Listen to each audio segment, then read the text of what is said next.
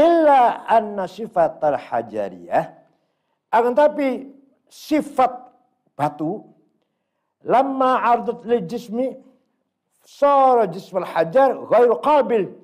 Tapi batu yang terhalang dari asar dari sesuatu yang lain maka batu akhirnya tidak menerima pengaruh dari yang lain. Wa kadzalikal qalbu. Begitu pula hati asar min an mutala'ati dalail wal ayati wal ibar. Begitu pula hati sebenarnya aslinya hati itu terpengaruh dengan adanya membaca dalil dalil, dalil menganalisa dalil dalil ayat-ayat ibrah-ibrah contoh-contoh. Iya ya umat itu disiksa oleh Allah karena karena melawan nabinya kaum Samud kaum Ad Nabi Nuh kaumnya Namrud semua itu akhirnya disiksa oleh namanya apa Aib ibroh lah sesuatu hati oh nggak bisa ibroh itu ya berarti kan keterlaluan hati itu. Di mata dia melihat kehebatan, ke luar biasa mujizat Nabi Musa. Kok masih nggak percaya, masih ngeyel. Potongan saya takof apa yang ngeyel-ngeyelnya?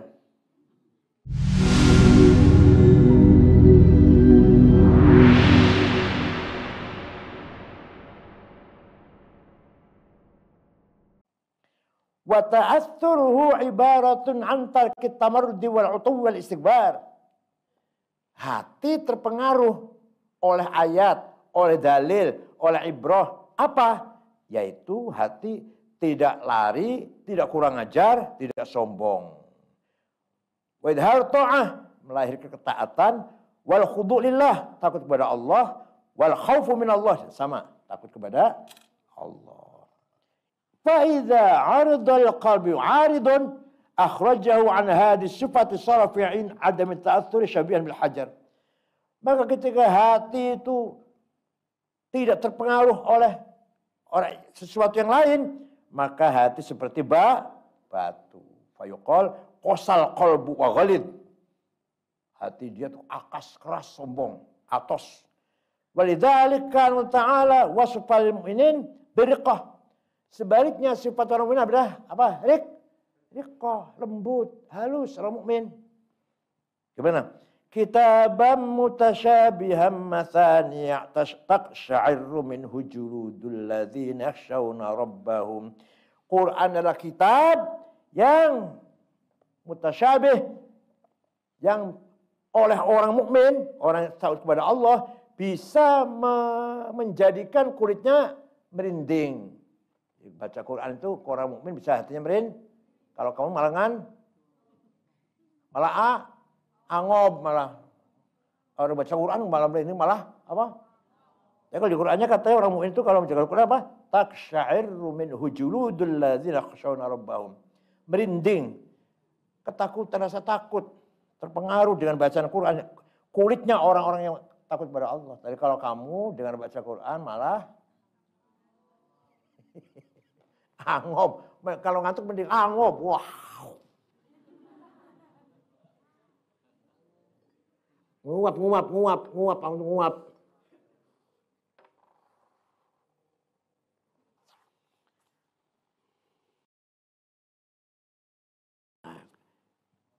Atosnya hati, keras hati seperti batu, bahkan lebih daripada batu.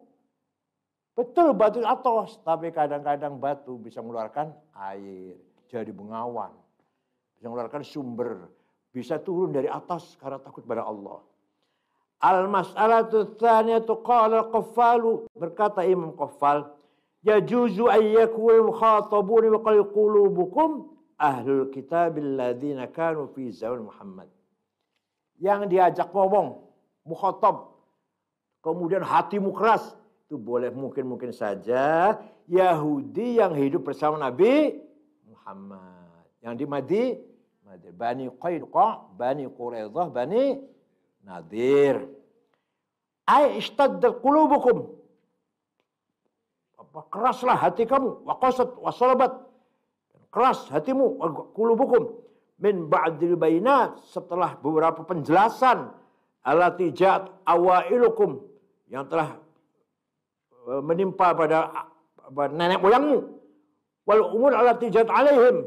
Dan sesuatu yang menimpa nenek moyangmu. Wal iqab dan siksaan. Alladzi nazala biman asra al masiyah minhum. Kepada orang selalu maksiat dari mereka dari bapak-bapakmu itu. Wal ayat allati ja'ahum biha anbiya'uhum ayat-ayat yang didatangkan oleh para nabi-nabi mereka. Yang mereka masih melawan masih enggak beriman. Artinya qulubukum lagi menceritai hatinya siapa? Hatinya siapa? Nenek moyangnya. Bukan bukan bukan hatinya Yahudi yang ada di Madinah bukan. Wal muwathiq allati yakhuduha ala anfusihim. Janji-janji yang mereka ambil, mereka berjanji untuk dirinya. Wa ala kullin man dara bit Taurah mimman sawahum mimman siwahum. Dan dia di antara mereka orang yang sangat dekat dengan kitab Taurat daripada lainnya. Fa akhbaru bidzalik an tughyanihim wa jafaihim ma ma indahum min al-ilmi bi ayatillah allati talinu indal qulub. Maka Allah atau Nabi Muhammad atau Nabi Allah menceritakan kepada mereka bagaimana nenek moyang mereka itu tughyan, jafa, kering, kering kontang hatinya. Kering, sombong. Ma'ama indahul ilmi, baru mereka tahu. Bi ayatillah dan ayat Allah. Allah talidu indal qulub yang bisa melemahkan hati hati siapa saja karena melihat ayat Allah dengan mata telanjang, dengan mata menyaksikan betul. Orang mati dipukul dengan salah satu bagian dari daging sapi hidup lagi. Itu masih nggak beriman ya Allah. Jadi setelah melihat mukjizat Nabi Musa yang luar biasa itu tetap kosat kulu orang Yahudi itu ada santri dari takofal masih kayak gitu namanya kosat kulu Bani Isra Israel ada nggak ada nggak kok di, di, dikandani, dinasehati, tetap aja ngeyel. Namanya Bani Isra.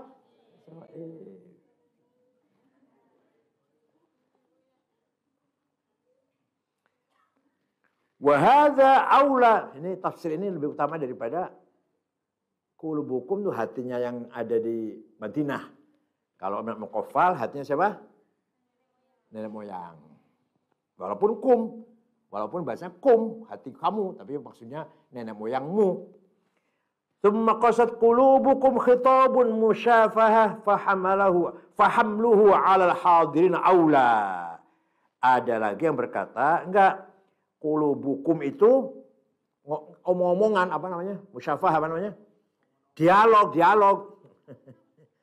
nah, berarti kalau dialog yang yang paling benar adalah hati Tuma kosat kulubukum, maka keraslah hatinya kamu sekalian, Yahudi yang ada di Madinah. Bukan Yahudi yang moyang bukan. Wahtamal aidun ayakul murad ulaika yahud alladzina fi zaman Musa alaihissalam khususan. Dan boleh juga yang dimaksud kulubukum khusus Yahudi zaman Nabi Musa. Bukan Yahudi zaman Nabi Isa, bukan Yahudi zaman Nabi Zakaria, ya bukan. Wa yajuzu ayyurida min qiblihim wa min salafim. Dan boleh saja yang sebelumnya atau yang sesudah. Pokoknya watak orang Yahudi ya kosat kulu. Hukum udah. Mau sebelum Musa, sudah Musa. Sekarang juga, sekarang juga. Iya, iya. Tapi mahkamah internasional jadi lawan. Mahkamah internasional yang dipelopori diusulkan oleh negara Afrika Selatan agar sidang tentang kekejauhannya Israel, sidang Mahkamah Nasional mengutuk tindakan Yahudi di Gaza. Eh, melawan. Gak menerima hukuman itu. Coba Yahudi. Kenapa? Karena dia pegang senjata. Pabrik senjata yang bikin Yahudi. Bank, bank, bank. International Wood Bank, IMF. Yang yang pegang siapa? Uang di dunia yang pegang siapa? Yahudi. Nggak berani, nggak berani. Walaupun mereka melawan, nggak berani ditindak apa-apa. Coba kalau yang lawan Saddam Hussein langsung dibom. Yang lawan negara Arab, Saddam Hussein, langsung datang 600 ribu tentara Amerika, nyerang Amerika. Eh, nyerang apa? Nyerang Irak. Coba kalau Israel berbuat apa aja. Ya. Itu mahkamah internasional. Mahkamah internasional. Yang menghukumi presiden mana? So, so, apa, eh, Yugoslavia, Yugoslavia. Sama Slobodan, Slobodan. Tuh, tuh, Slobodan. Menghakimi Hitler. Hitler hakimi juga. Makanya nasional. Dia salah. Nah ini mau dihukum di. Salah ditolak. Diterima oleh Israel. Kami benar, kami nggak salah.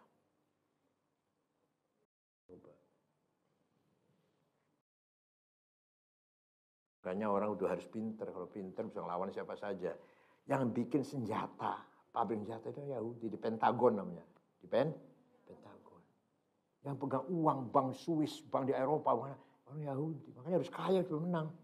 Kalau melarat nggak akan kaya, nggak akan menang kalau melarat. Kelihatan melarat gitu, adalah nggak akan menang melarat gitu. Ya zaman sekarang seperti itu. Kalau zaman Nabi melarat atau miskin tetap menang.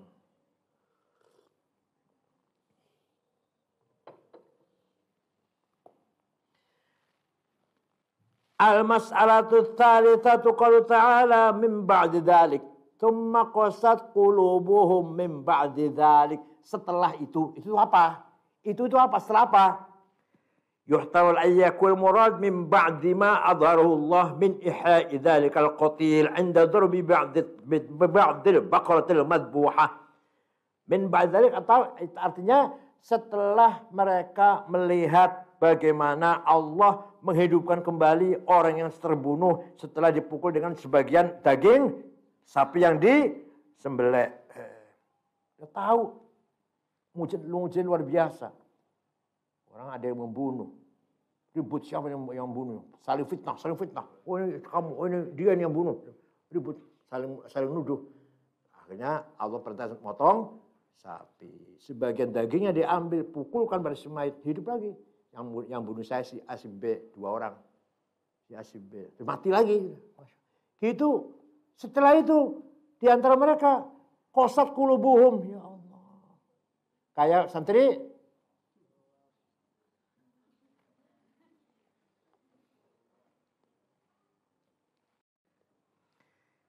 Hina ayyal qatil fa innahu ruya anna dhalikal qatila lamma ayyal qatila nasabul qatila ila kidbi.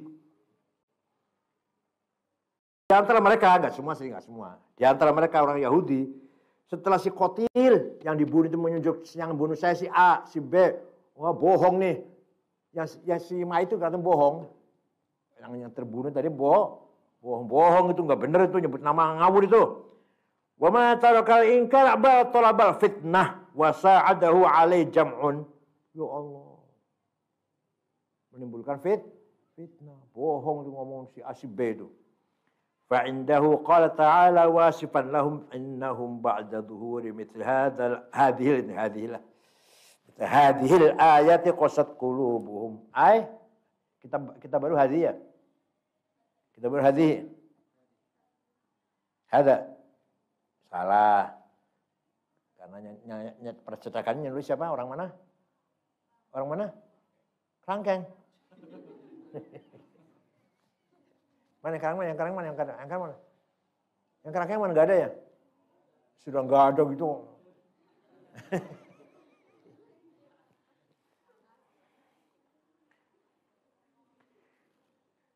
Setelah yang terbunuh tadi bangun hidup menyebut nama-nama ini. Itu kan dohir ayat yang luar biasa itu.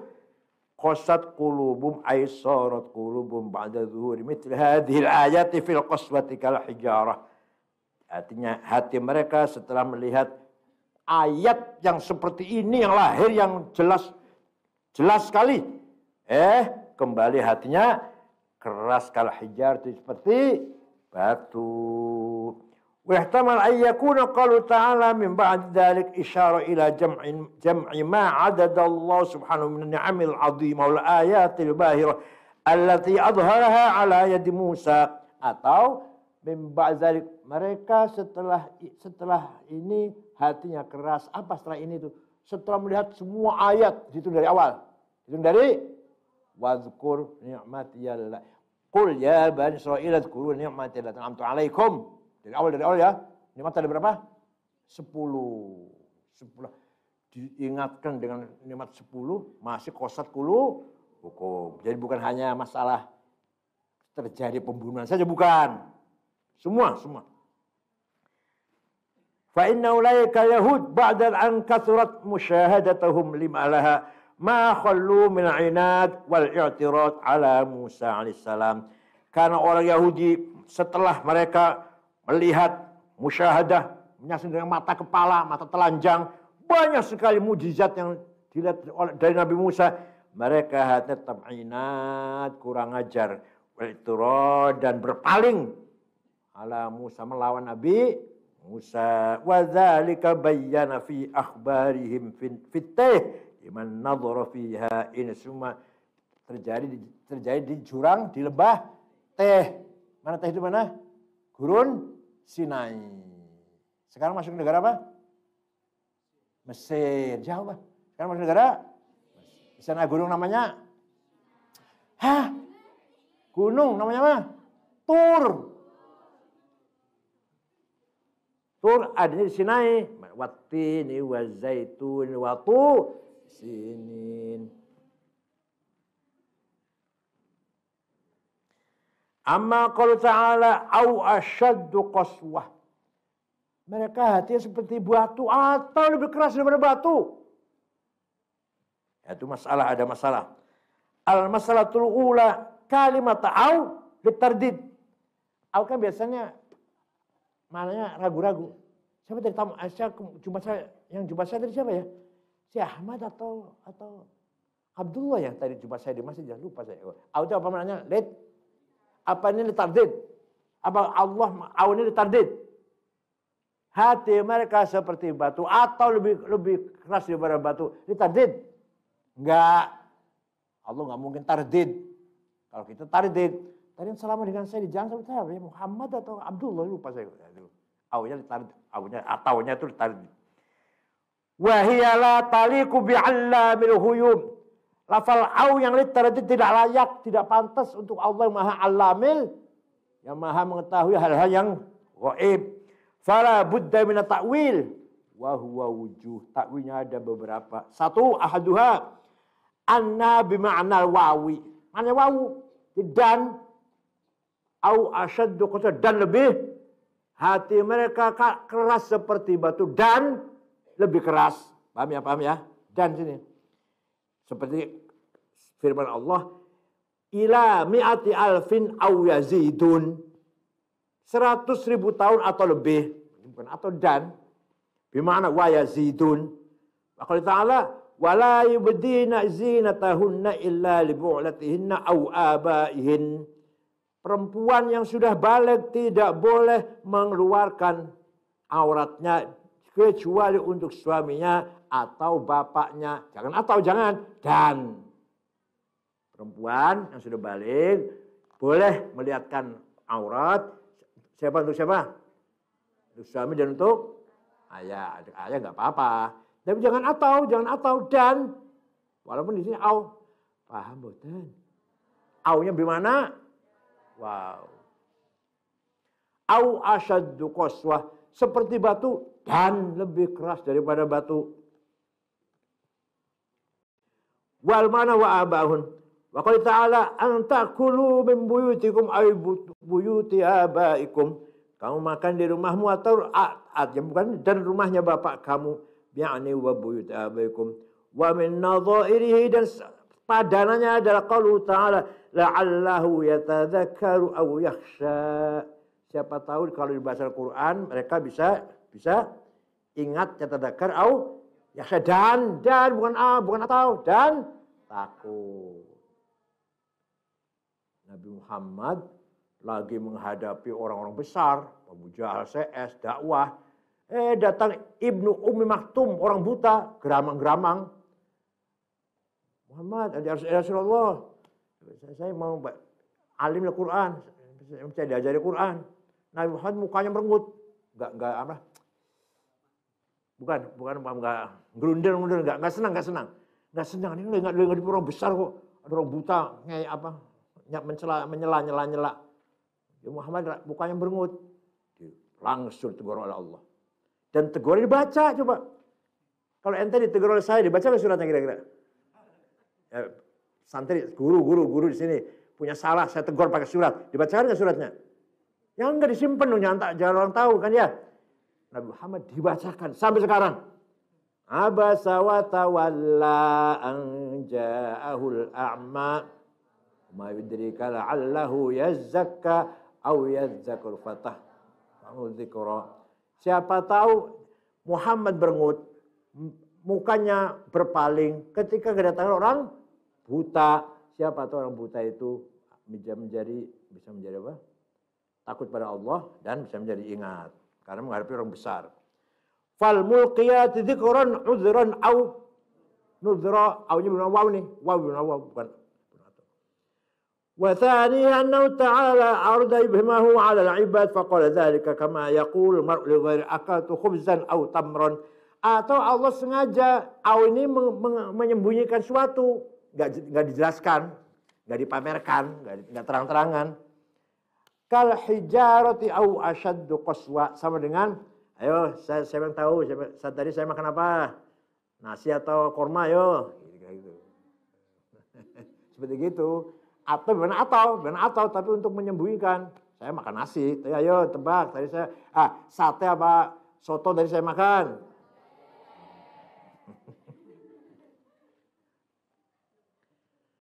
Pasal itu bukan mana? Ya, kama yaqulul ma'rul ghairi seperti ada orang berkata pada yang lainnya, pada temannya, akal tuhwizan au tamron. Saya makan roti atau korma. Wahwa la syukwanu akala hadauma. Dia tidak syak, tidak ragu-ragu makan salah satunya. Saya makan roti, saya makan masa ragu-ragu. Iza aroda alla yubayyinahu lissahibihi. Karena dia tidak ingin menjelaskan apa yang dia makan kepada temannya.